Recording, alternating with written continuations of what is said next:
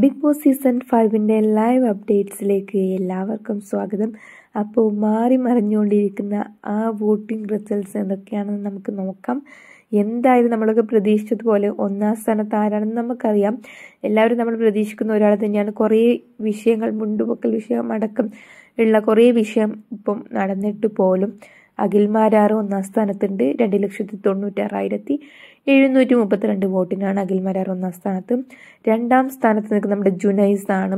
രണ്ട് ലക്ഷത്തി അമ്പത്തി എട്ടായിരത്തി മുന്നൂറ്റി ഇരുപത്തെട്ട് വോട്ടിനാണ് ജുനൈസ് രണ്ടാം സ്ഥാനത്ത് നിൽക്കുന്നത് അതുപോലെ മൂന്നാം സ്ഥാനത്ത് നിൽക്കുന്നത് നമ്മുടെ റെനീഷയാണ്. രണ്ട് ലക്ഷത്തി അമ്പത്തി മൂവായിരത്തി ഇരുന്നൂറ്റി നാൽപ്പത്തി മൂന്ന് വോട്ടിനാണ് റെനീഷ മൂന്നാം സ്ഥാനത്ത് നിൽക്കുന്നത് അതുപോലെ നാലാം സ്ഥാനത്ത് നിൽക്കുന്ന ആളെന്ന് പറഞ്ഞാൽ നമ്മൾ ഒട്ടും പ്രതീക്ഷിക്കാത്ത നമ്മുടെ മിഥുനാണ്.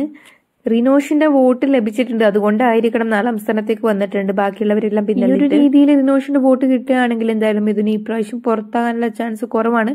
എന്താ അതുപോലെ അഞ്ചാം സ്ഥാനത്ത് നിൽക്കുന്നത് സെറീനയാണ്. സെറീന അഞ്ചാം സ്ഥാനത്തേക്ക് എത്താൻ പറ്റിയിട്ടുണ്ട്. രണ്ട് ലക്ഷത്തി ഇരുപത്തി എട്ടായിരത്തി തൊള്ളായിരത്തി ഇരുപത്തി മൂന്ന് വോട്ടിനാണ് സെറീന അഞ്ചാം സ്ഥാനത്ത് നിൽക്കുന്നത്. അതുപോലെ ആറാം സ്ഥാനത്തേക്ക് പിന്തള്ളപ്പെട്ടിരിക്കുകയാണ് നമ്മുടെ ഷിജു. രണ്ട് ലക്ഷത്തി ഇരുപത്തിനാലായിരത്തി തൊള്ളായിരത്തി പതിനാറ് വോട്ടിനാണ് ഷിജു ആറാം സ്ഥാനത്ത് നിൽക്കുന്നത്. ഏഴാം സ്ഥാനത്ത് നാദർ കയറി വന്നിട്ടുണ്ട്. രണ്ട് ലക്ഷത്തി അയ്യായിരത്തി എഴുന്നൂറ്റി പതിനൊന്ന് വോട്ടിന്. അതുപോലെ ഡേഞ്ചർ സോണിൽ അനു ആണ് നിൽക്കുന്നത്.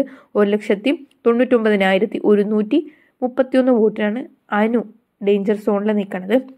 ഡബിൾ എവിക്ഷൻ ആണെങ്കിൽ ഇവർ രണ്ടുപേരും എന്ന രീതിയിൽ പോകും നാദർ എന്തായാലും നല്ല രീതിയിൽ കയറി വന്നിട്ടുണ്ട്. എന്തായാലും നമുക്ക് നോക്കാം. അടുത്ത ലൈവ് അപ്ഡേറ്റ്സും വോട്ടിംഗ് അപ്ഡേറ്റ്സും റിസൾട്ട്സും ഒക്കെ ആയിട്ട് ഞാൻ വരുന്നതായിരിക്കും. അതുപോലെ ചാനൽ കാണാത്ത ആൾക്കാരാണെങ്കിൽ ചാനൽ സബ്സ്ക്രൈബ് ചെയ്യാൻ മറക്കരുത്. അതുപോലെ നിങ്ങൾ ആർക്കാണ് വോട്ട് കൊടുത്തതെന്ന് താഴെ കമന്റ് ചെയ്യാനും മറക്കരുത് കേട്ടോ.